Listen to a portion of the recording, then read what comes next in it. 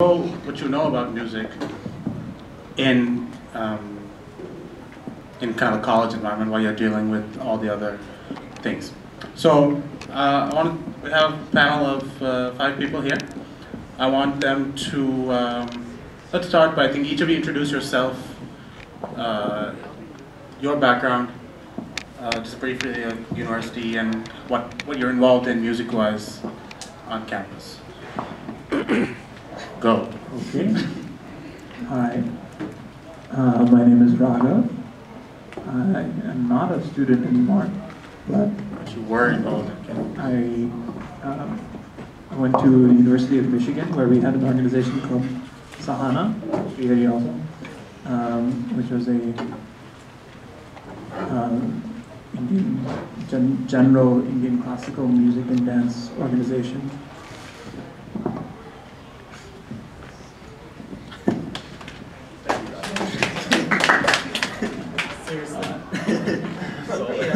Uh, Raghav has already introduced me. I'm Srihari.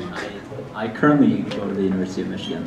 Um, and yeah, so we were both a part of uh, Michigan Sahana, which, like he said, is. Uh, um, it was actually one of the, the people that kind of started it and made it kind of big was Sanji over there, he also went to the University of Michigan. Um, so the group, just a, a little bit of a background for the group, I guess. Are we doing that? Okay. Uh, is um, so it's it's for all things like Indian classical music and dance. So that includes like Carnatic music, Hindustani music, and like a bunch of different styles of dance. And so uh, we have a very like uh, big group of people, and it's like all skill levels. So really anyone that wants to join can join. Um, and we try to hold events that can include as many people as possible. Um, and we try to do cool things where you can kind of learn about different styles while you're there. Um, and you know still keep in touch with your own traditional roots while you're at it. And so it's a it's a cool experience. I guess we'll we'll be talking more about it. Hello everyone, uh, my name is Kapil Ramanarayanan. I'm currently a, oh, I'm go- about to be a sophomore at UNC Chapel Hill um, in North Carolina. I am a biomedical engineering and music double major. Uh, so this music, of course, is I'm, I play uh, Western violin, um, but at the same time, there's a lot of things that with continuing music in college, it's given me a lot of opportunities to continue Carnatic music as well. Um, just just right off the bat, I list a few. Like I can get free access to practice rooms. I can get free lockers. Um, I, I get like uh, I can even take uh, lessons. I can take Skype classes for Mridangam uh, in the practice rooms. And so being a music major has and just continuing music has actually helped both Western music and Carnatic music. And so we can talk about that more later on. But yeah, nice to meet you. Hey everyone, I'm Ashvin. Uh, I'm currently a rising junior at UC Berkeley. Uh, so, as part of what organizations I'm part of, um, I'm part of two uh, organizations that deal with music. One is Laya Berkeley that you all just saw um, a couple of hours ago. So basically, what we do is that's more of a fusion group. So there are a lot of Indian classical artists like Carnatic and Hindustani, um, but we do have like a few Western uh, artists too. So it's cool, I guess, um, because everyone has very diverse backgrounds, right? So it's cool seeing what everyone has to offer, what you can learn from them, and how you can, I guess, create something that can be really cool, like combining all of these ideas. Um, the second group that I'm part of, actually with Vishnu, is a a cappella group. Uh, we're a South Asian a cappella group, and even though um, we don't necessarily focus a lot on Carnatic music, a lot of us are trained in Carnatic music before, so it's really cool. We all bond over that, I guess. So, um, yeah. So my name is Vishnu um, from the area here, but um, as Ashvin mentioned, I'm also from Berkeley, and um, the main main way, the main musical group I was part of was um, Dilse, which is um, the uh, South Asian a cappella group there. Um, but prior to that, I learned Carnatic music for, or I'm still learning Carnatic music since the age of four, so it's uh, still a big part of my life as well. So yeah. Um, and if you don't know me, I'm Sanjeev. If you don't know me, that's an issue by now. You need a chair? no, I don't need a chair. This is fun.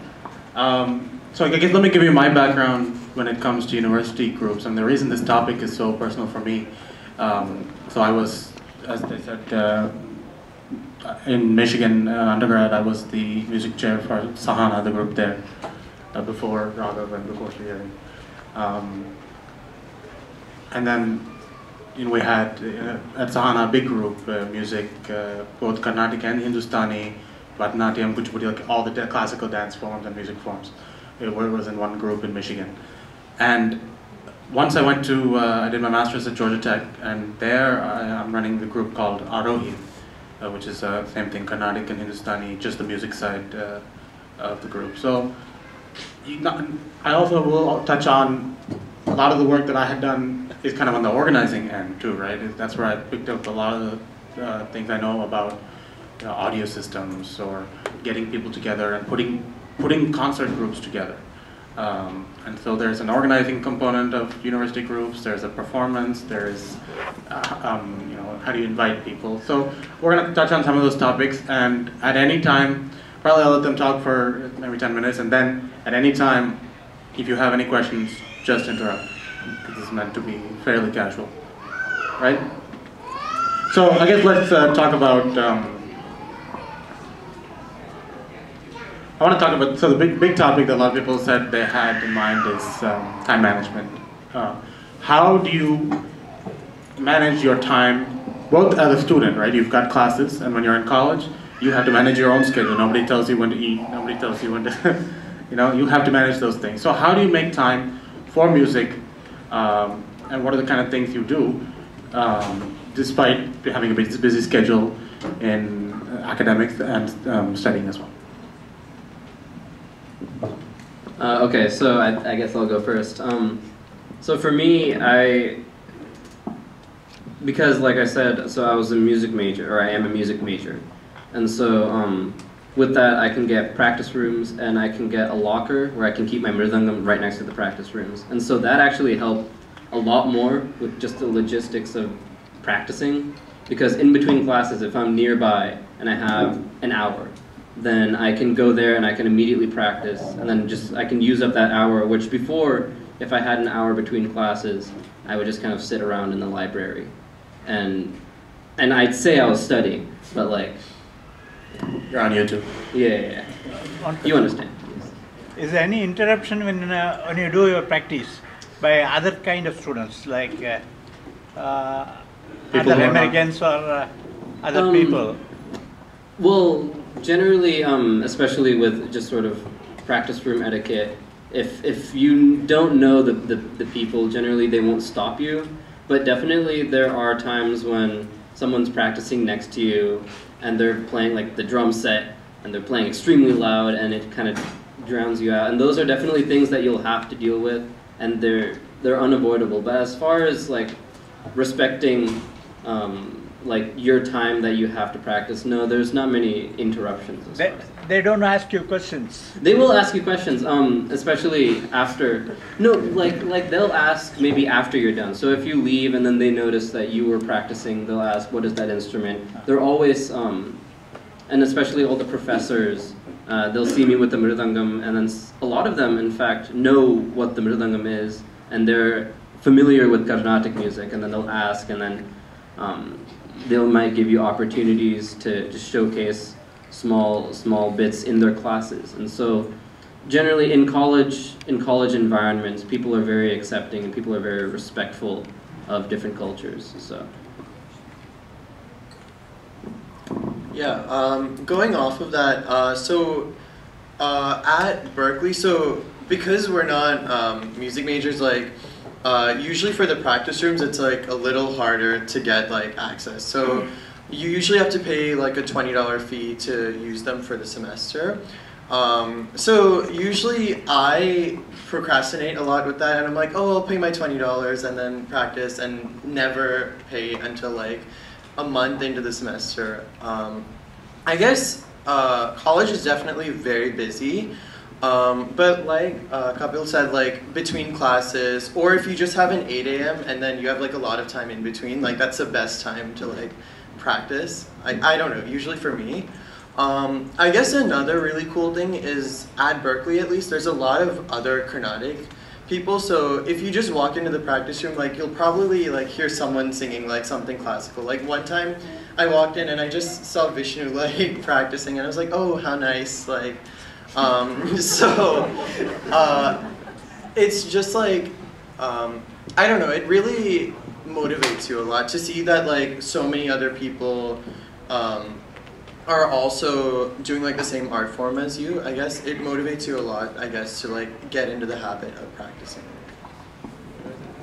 Yeah, I mean, uh, so yeah, for, for us too, I mean, I'm, I'm not a music major or anything like that. And really, I actually like, I haven't really practiced in a like practice room on campus in in forever. We usually like, we'll go, the times when I practice is like after like classes are done, maybe at like six or seven, there will be a lot of empty classrooms in a building. And there's one building that's like famous for all your different music groups on campus, like any style and stuff, and they'll all kind of practice on different rooms there.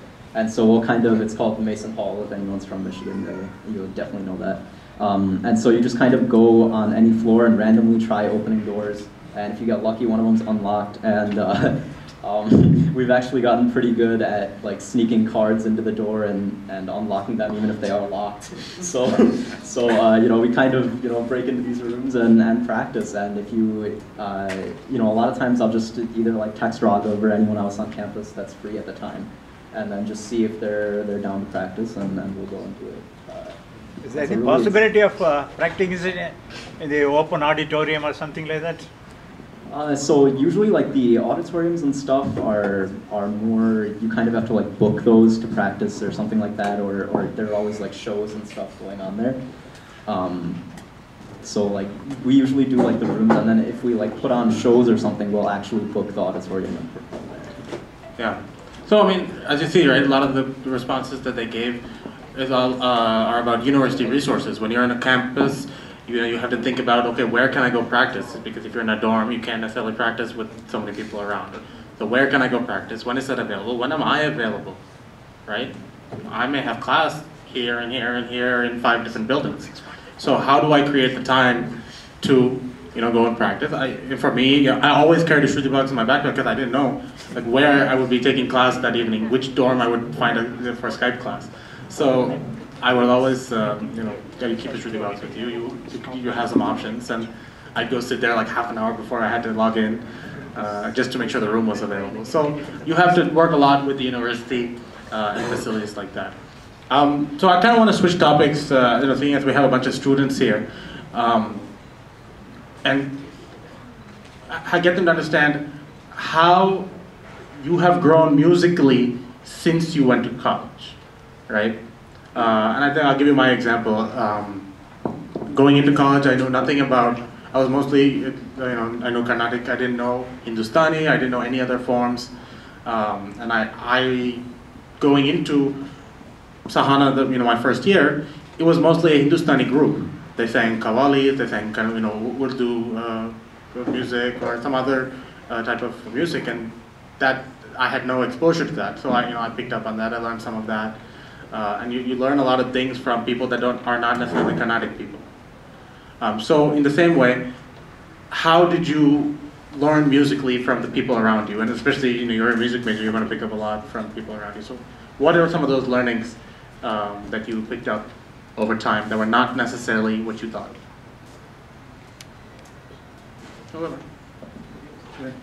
Um, I say, you know, mo- most of you would be familiar with how events like these youth festivals, when you get to meet other people uh, who play music and are interested, that kind of motivates you to learn and practice.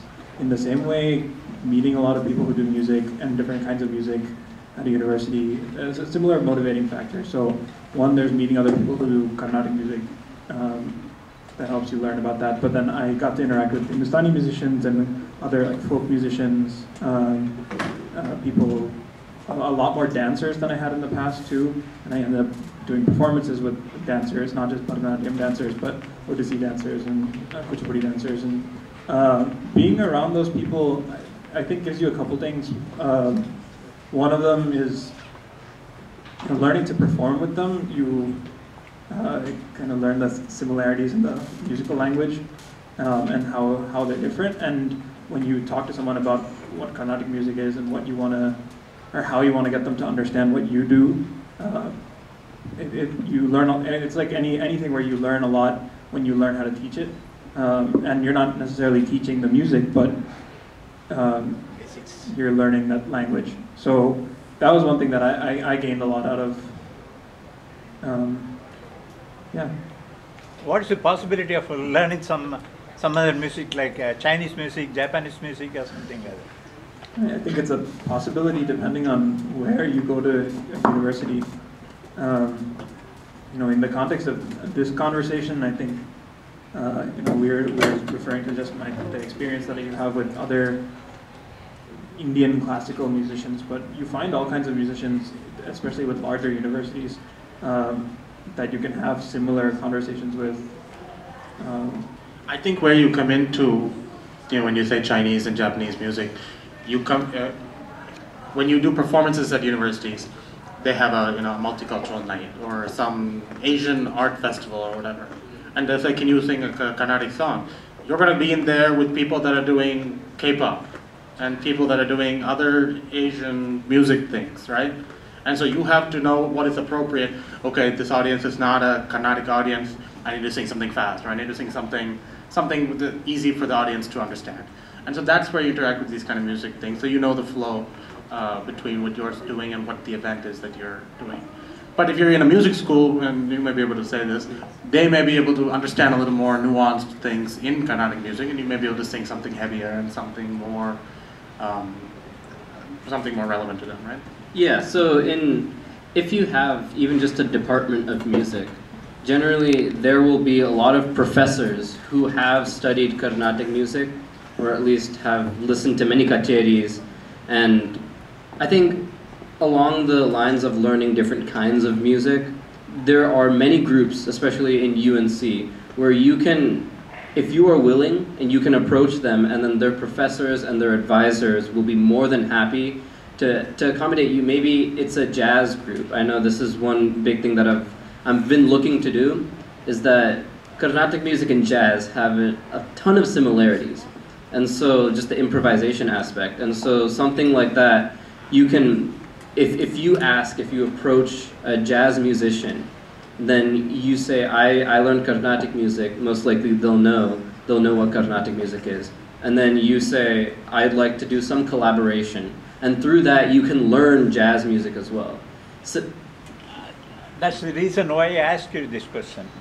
Suppose you have somebody like Chinese, uh, Russian music people, Mhm. you can have a fusion program with the Yes. Carnatic music. Yeah, and there, there are groups that are specifically derived or that are spe- uh, specifically made to feature Asian music. Um, like so, if if they have some some they had Japanese instrument um, showcases actually just before the semester ended in UNC, and and some um, Carnatic music musicians that I knew actually went there and featured Carnatic music and and the the styles and just the instruments. And so it was like a mutual exchange where we learned about Exactly. Japanese instruments and they learned about Carnatic instruments. Yeah. And so yeah, in college that's sort of the thing is that you can experiment and that like if you want to do it, you can do it.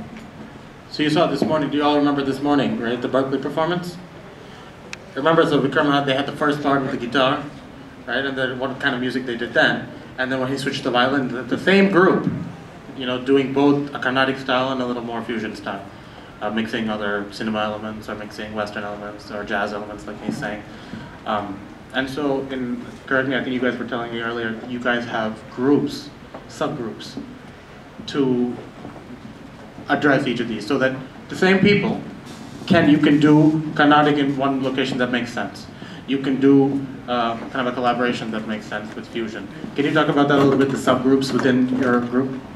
For sure. Uh, yeah, so every semester, what our group does is that we basically divide everyone up into subgroups based on what their interests are in. Or if it's like, if they want to do something that's pure Carnatic, or if other people want to learn about Carnatic music.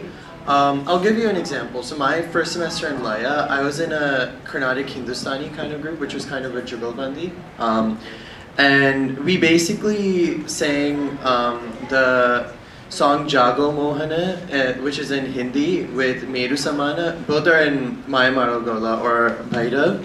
Um, so that was really cool for me because here you get to like see what kind of music like Hindustani music is and you actually get to interact with people that are very experienced and professional in it, right? So um, I think having a very diverse group like that is really helpful and usually for subgroups we rotate every semester so you do a different genre um, every semester so that way you're not only uh, you can not only like experience like the different genres but you can also get to know everybody in the club because um, the club can be like really big right? Some people uh, you won't get to hear them sing or like their ideas sometimes so the subgroups really allows you one at a time like one-on-one to like learn from each other and create something that is that can be really cool together you know?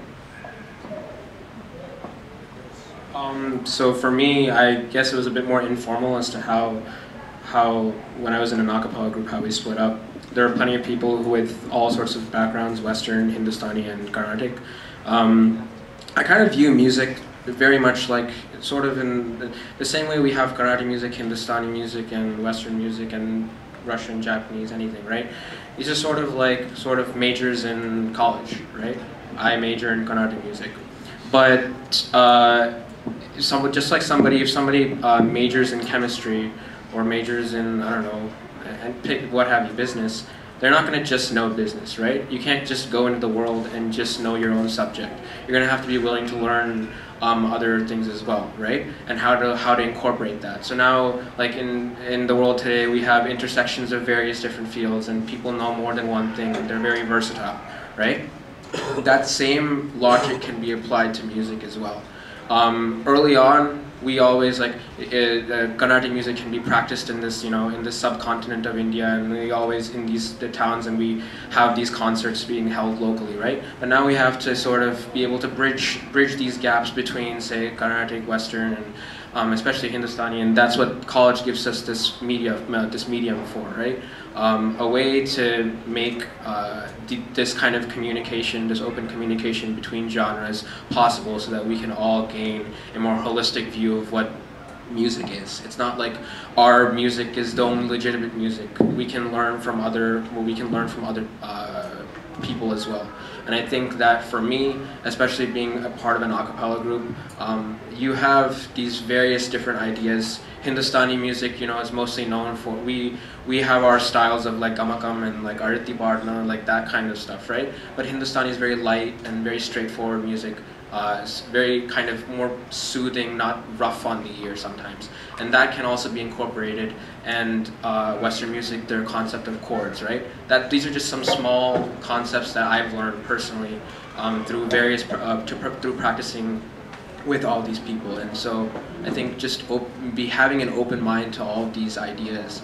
Um, college gives you that medium, and they will always give you those resources. But um, if you're if you have an open mind, your your musical experience will be enhanced. Um, I think if I can just add on to that, uh, what's nice is is having the option to do those things. So it's not that like you necessarily have to go out and, and do something like that. It's it's you get to do whatever you want to do. So you can go as far as you want with your with your collaborations, work with these people, and you know some days you just want to sing a Todi or Vaidali, right? And that's hard to collaborate with someone else. So you just kind of go ahead and do it, right? It's it's hard to incorporate other styles. And then some days you you know you really want to get with them, so you can pull out like a Sindh or the Hog or something. So it's it's nice to have your your options here and there.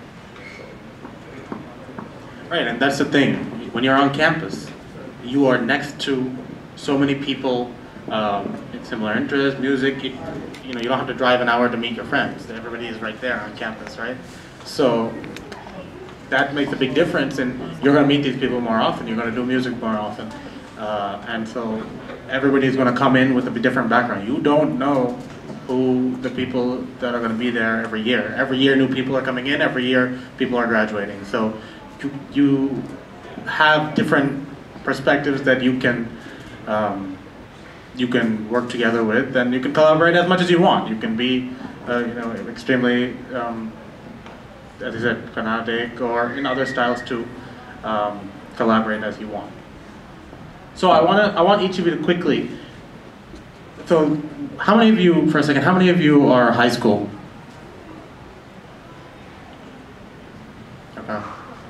And you're not in high school. Nice try. So I want each of you quickly to, um, seeing the high schoolers here, give them one thing or a couple things that they can look forward to in college on how they can take their music further. Let's, let's do it like this. Let's say one thing that high schoolers should take and one thing that parents should know about what happens in campus in terms of music. In terms of music. other, thing, other things I'm not responsible for. Um, we can either do a round of high school and a round of parents, or we can do one on one. Up to you.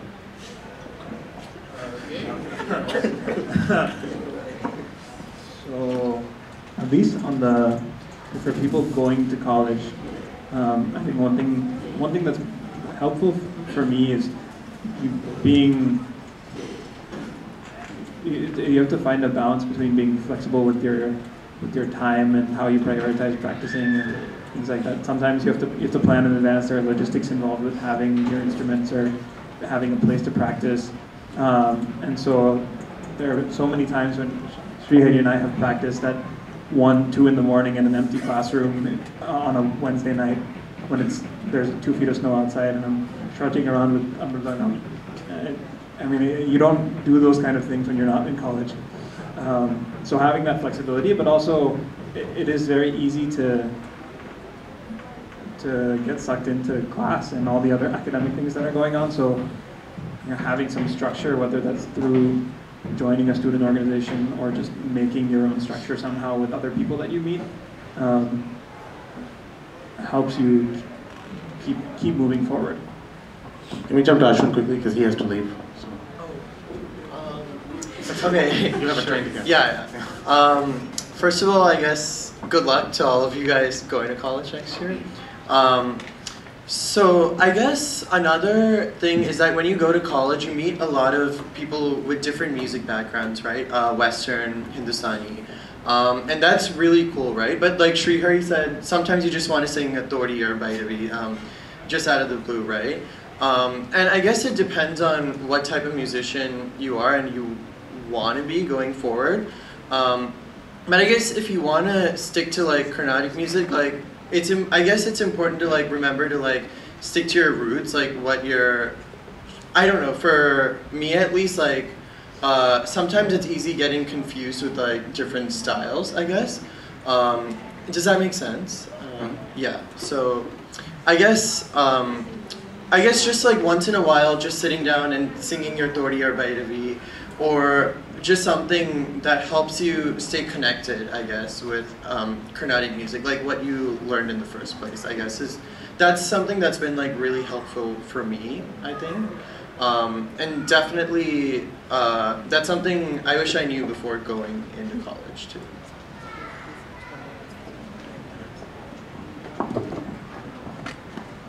Yeah, I guess uh, another big thing, kind of something to look forward to. I guess the big theme that we've been talking here is like meeting new people, and and really, I can tell you that like, I I went to school 40 minutes from my college, and the people that I that I spend time with in college are not the same people I spent time with in high school. They're, you know, obviously I do hang out with some high school friends, but there's just a whole, it's it's a huge network of people that you get a chance to meet and, and be with on, on campus. And so that is something that you really should look forward to and make sure that you take advantage of that. It's, it's important to, you know, kind of branch out and try to meet as many, you know, types of people as you can. Decide, you know, like who you want to hang out with, what you want to do, things like that. That's, that's, a, that's a real important thing to have.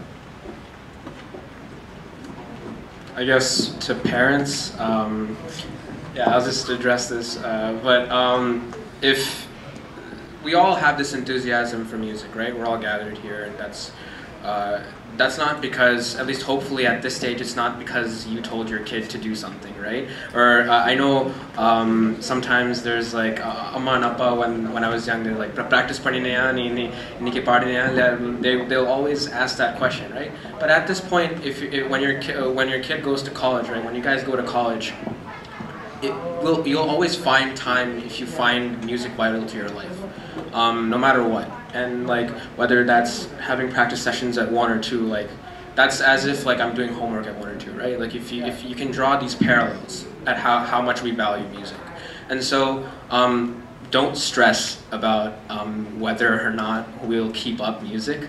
It'll happen organically because it's so ingrained in us, and that's why we're gathered here today because we appreciate that style, right? So you don't have to worry, and there are like-minded people in college as well. So the bottom line is you don't have to worry about. Um, whether or not like uh, we'll continue music in some in some shape or form uh, will like I think at this point that's a it's kind of a foregone conclusion that we will. Yeah, so I just wanted to quickly touch on something for high schoolers. Um, so I, I sort of wanted to touch on something that Raghav said, is that it's easy to get sucked into the classes. So, like, because it's easy to study. Studying is just kind of like you make your index cards, and then you study it, and then you memorize it, and then you go. And it's, it's I mean, you shouldn't just memorize. You should you should really make an effort to learn. But it's a lot easier. It's, it's less. Yeah, but it's but it's a lot easier. It's different with with music because with studying it's just sort of like you have to do it. But in ways, it's easy. It's it's easy because you know what you have to do. You know what you're searching for. You're searching. You're. You know what you're you're working towards. You have a test tomorrow and you have to study. It's like 12 in the morning and, and you're, you're studying, and then you know that that's your goal. But with music, it's just like this rocky road ahead of you. And um, I think one, like the biggest thing is you have to be able to find the drive within yourself. Um, I remember uh, Shank, um, Shivaraman sir, I, when I met him one time, he told me, because a lot of people will tell me, oh, you're going to do biomedical engineering as your job and music as a hobby. And that's not completely correct because music isn't just a hobby. It isn't just something you kind of you pick up like like you said, like Vishnu said, it's it's ingrained in you. Especially after you've done it for so long, you're doing it through high school, you stuck with it because high school was also hard and you're still doing music. And so you have that passion within you. And so music isn't a hobby anymore, it's a passion. And with that passion, you need to be passionate. You need to have that drive. You need to say, okay, I have this hour. I could listen to YouTube, or I could go practice. And that's just one thing you have to find within yourself. And parents, I know like sometimes you still see your kids as your little babies, and you have to like baby them. And if oh, have you practiced yet? Oh, and but like I think I think one thing to tell parents is that give them the freedom and just trust them that if they've stuck with it this long, they're not really doing it just for you. They have to be doing it for themselves. And so if you let them naturally, organically go and find that passion within themselves, then they'll flourish even more than in high school when you were behind them telling them, oh, practice, practice, you, you only practice 30 minutes today, or something like that. And so I think that that's sort of the thing is that the high schoolers have to find the drive and the parents have to let them find the drive. Okay, since we have less than 10 minutes, um, I do want to um, open it up basically to questions first from the uh, students, from participants and young people. So any questions that you guys have for any of these people, right? About what kind of things could you do?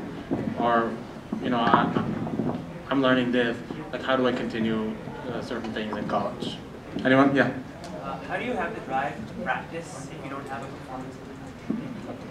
That is actually that is a very that is a very good um, observation. Repeat the, repeat the question huh? repeat the question okay yeah so he asked how do you have the drive if maybe you don't have a performance coming up and to that I just have to say you, you have to you have to think of it like that is actually a very good question. So like the thing is is when when you have the drive, you have to have you still have to set goals for yourself. So you still have to have some sort of assessment. Maybe if you if you want to work on I don't know kanakku or something like that, and you want to say that. So if you don't have any performances, you can take that as an opportunity to work on something that you wouldn't be able to work on if you just if you're just working towards a towards a performance. And so if say like um, with performances as a mridangam uh, artist, if I um, if I'm not like listening to a specific song or I'm not performing, practicing a specific tani, then I can explore what I can do. I can just listen to kacheris and see, okay, I have this kacheri. Let me try playing towards this. Let me try making a tani for this, maybe purutam korvai, something like that. So setting those goals for yourself, setting like your personal assessments. So I actually, on you know, uh, I actually think it's more fun to practice when you don't have a concert or anything coming up because uh, when when you do have a performance or something like you know next week, then that's just on the back of your mind whenever you sit down to practice, right? Whether you are actively practicing for that performance or not, it's always there. Oh yeah, I have to sing this next week. But if you don't have anything coming up, you're totally free. So when you when you get the chance to sit down and practice, you can practice anything you want. Whatever you feel like that day is what's going to happen, right? So that's um, so just having that feeling, I, I think, is, is the best. Is when you can just you know call someone and be like, hey, let's just practice. Just. Yeah, like that's sort of going over like the, the freedom you have in college. I think part of that too is uh, having someone else to call. That, that helps a lot. Because when you're sitting and practicing by yourself, you know, there's a lot you can do and you can have that motivation, but I think that's doubled when I have someone that I can say, hey, I want to practice this next week uh, with you. Can we do that? You know, if you have someone who lives two minutes away from you, then that next week, for that next week, you're going to be doing that every day because that's going to be on your mind. So that's kind of a, another way of goal setting that has a different kind of outcome. It has, you know, if, if you don't do it, then you'll, you know, the next week practice with that person is not going to be as fun. So you want to do it. Um, so it's it's making making goals and also making it a lot more fun for yourself along the way by trying new things. Oh yeah, so um, I know in high school it's pretty hard for like students to get, or like Carnatic music students to get involved with like organizing and planning concerts. So how has your involvement within the campus, um, within like student-run groups, help um, with event planning and help that get you more involved with Carnatic music? Um, so. I promise I did not plan this question. so uh, so um, last year I was uh, I was on board for for Sahana. I was concert chair, and what that entails is like all the audio setup and, and planning like uh, a booking a venue, things like that for a concert. And I can guarantee you, I, I had never seen a mixer in my life before I actually became before I was in that role. So I had no idea what I was doing, and I was just thrown into it, and it was the greatest thing ever because I learned how to you know hook up a whole audio system and then you just kind of go through the process of, of booking a venue, talking with different people, because we put on shows through the year, and so you'd email different people to try to get the best venue possible on what date you can, and organizing the show, making sure all the groups show up, and so uh, being like actively involved like that, and you don't have to be like a on board or anything like that. If you're just any you know normal person that wants to get involved in that, if you ask, there's always stuff to do um, for these organizations because they're always like, you know, on demand or whatever, right? So they'll always have something for you to do and it's, it's a great place. Um, this is less so for my college organizations, but um, some of you may know uh, North Carolina Youth Classical Arts for Charity. That's NCYCAC. It's a North Carolina group that was started by Sudarshan Mohan. He was here somewhere. I think he was roaming around. But um,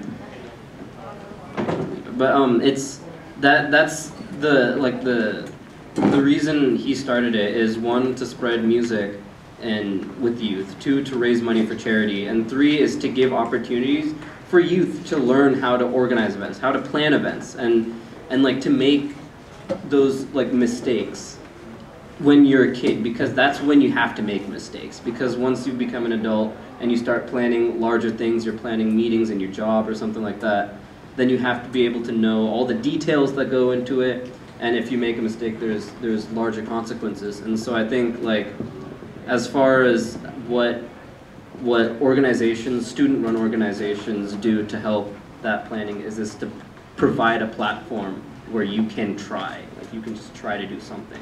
If you notice, right, none of us did anything by ourselves in college. It was, we had a framework called Sahana in Michigan. You know, they had NCYCAC and, you know, the things he was doing at UNC. And they have two groups at Berkeley. So you have these groups that are there by the people who have been there before you.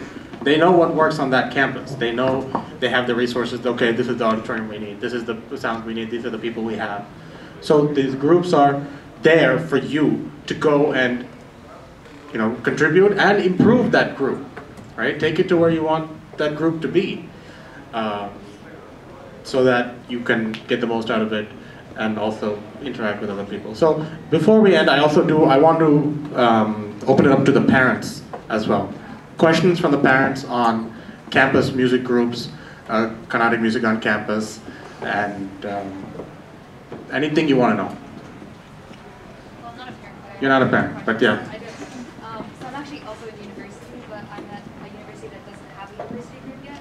So I was wondering, I just this for you because you said you kind of helped start some of that. You were one of the people. Yeah. So like, how would you get that group? Because I know Kamala Green's at Mason, and there's a lot of people there, but like, I don't really know how to reach out. So the question is, if your university doesn't have a group, Like, we have a lot of music people. you have a lot of music people, but you don't have a group. How would you? How do you start it, or how do you? Just like, because I'm sure if I were to just post bulletins, no one would be interested because it's like, You started small. A lot of groups have start, started in dorm rooms. oh, It's just three people. They're like, okay, I'm going to meet at 1 a.m. because uh, I was doing homework and didn't pay attention. So they meet at 1 a.m. in a dorm room, you know, and then they started. Uh, uh, they practice for a while, and then okay, people hear about it, they join, and you can have a group. You know, my group in Georgia Tech is much smaller than the group we had in Michigan. So that's the kind of group where you meet, maybe you meet once in a while, once, once a month, because people don't have as much time. It's not a once a week activity.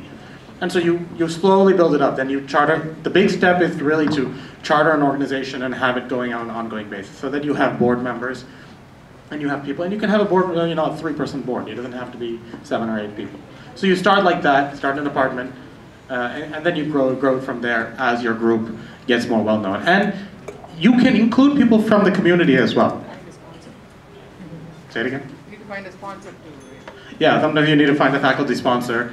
Uh, a lot of uh, a lot, lot of the um, universities have you know professors that are willing to help you help you with that. Um, and yeah, wherever you are, don't mistake the local community. The local community outside the university will be able to support you as well. Uh, particularly, we know for in Michigan, for us, there's a huge uh, support uh, of having uh, some of the groups uh, that are there in the local area. Okay, um, we're almost we're out of time basically, but parents, yeah.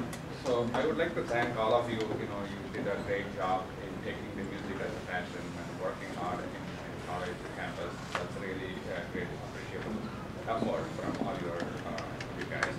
So one question is, um, have you faced any harassment or anything uh, in the uh, college campus by non-music people? Um, or if you face so, then how do you dealt with that? The question is, have you faced any harassment or um, Negative. hostility, yeah, from negativity from non-music people? And I have to say, I've never, I've never ever felt that because um, even if I'm practicing mridangam, and I mean mridangam is not a, it's not a quiet instrument. It will, it will shake the floor, and if there's people nearby or something, like they'll definitely notice. But I've never had anyone come up to me and say like stop practicing or anything like that. If anything, they're always just very interested because I mean that's sort of like everyone's they, they became accepting and personally I've I've never faced something like that but something like that may happen and if that does happen I think just being confident that this is your passion this is what you want to do and yeah so I think that's that's the best way is just to say I'm going to do this and even if you show this negativity even if you try to show this hostility I'm not going to stop Yeah, I've, I've never felt anything like that either. I mean, there's one thing where just being conscious of where you're practicing Yeah. to not disturb people. I mean, to an extent, it's you know when you're when you're singing or something. It's not gonna. I mean, that's with any music. You know, you're not gonna go practice in a quiet library. But you know, if people tell you that it's it's very disruptive in a space, then that, then they'll tell you. But no harassment of any kind. So you should always respect kind of the local, you know, everybody else in the university, what the, the, their interests are and what they're doing, and the spaces that they work in, right? Um, okay, so then we're out of time. So let's just do 15 second, you know, what what is what, what is the message you want to uh, kind of communicate to everybody?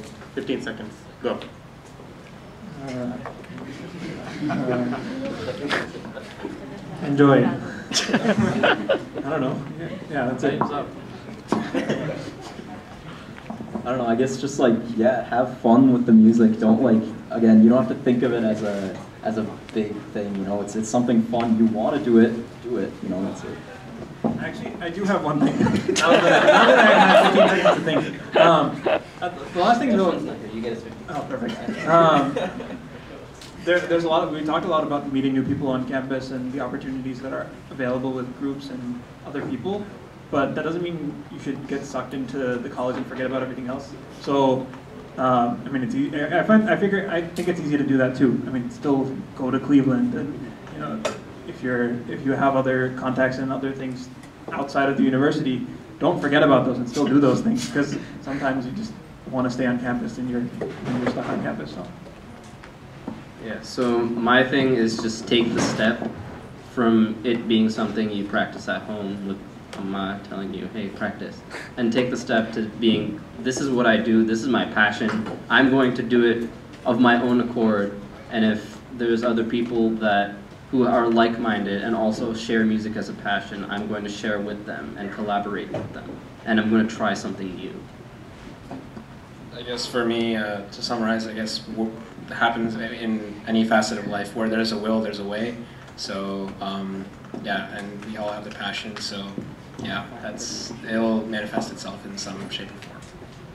And I have two things. Wait. I have two things. One, learn all the skills you can in college. Everything I learned about audio, everything I learned about concert organizing and putting a schedule together is because of what I did in undergrad. And being in the organization uh, and being in a group that encourages that, that's where you're going to learn a lot of skills. You'll learn some here, you'll learn some in school, you'll learn some other places, but really college is a time that you're going to have the opportunity and the skills and the people that are next to you to learn a lot of those things. And lastly, I think the big, the overarching point that, that some of you had mentioned is that music is for life. Music doesn't end when you have an arangam, or music doesn't end when you're in 11th grade, right? Music, music is forever, and you will continually learn, um, you know, throughout your life, and college is going to be a big part of that. Um, and you're going to learn not only in what, uh, on top of what you know, but then things that you don't know, and you're going to diversify into other and respect other types of music as well. So I think with that we'll end it. If you have, obviously you know these people. So if you have any questions, you know, approach them, talk to them about what, um, you know, what they, what else they do on campus, and get to know uh, what they do and come up with ideas on what you can do, uh, kind of as you go graduate high school and go into college and beyond. Thank you. Right?